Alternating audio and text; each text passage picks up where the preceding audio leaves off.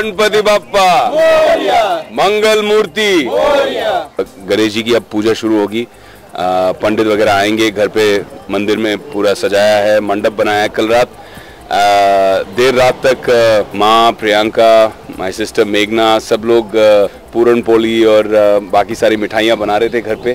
तो पूरे पूरे घर में जब खुशबू आती है तब लगता है अब गणपति जी आ रहे हैं। I think the festival of Ganesh महोत्सव is an extremely special one for all of us Mumbai का स्पेशली हम लोग uh, बचपन से देखते आ रहे हैं uh, अपने दोस्तों के घरों में कभी कभी अपने घरों में uh, तो आई थिंक हमारे लिए मेरे परिवार के लिए तो बहुत स्पेशल है। uh, सारे परिवार की लेडीज़ जो हैं वो खुद किचन में एंटर करती हैं and they go crazy for this five days मिठाइयाँ बनाना प्रसाद बनाना uh, और घर पे जिस तरह से पूजा पाठ आरती चलती है it's it's a beautiful feeling it's an amazing vibration and Ganesh ji की इंपॉर्टेंस यही है कि लोग कहते हैं वो विघ्न हरता है। वो सारे ऑब्स्टिकल्स को हटाते हैं विघ्नों को हटाते हैं और कोई भी अच्छी चीज़ अगर आप करने जा रहे हैं तो गणेश जी का नाम लेके लोग करते हैं।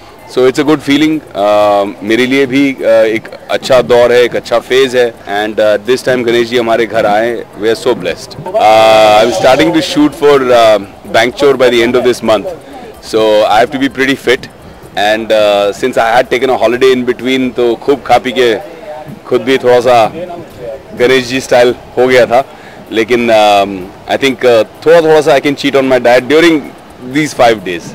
Of course, uh, Yashraj is a great, uh, uh, great uh, production house, uh, and to be associated with them is an honor.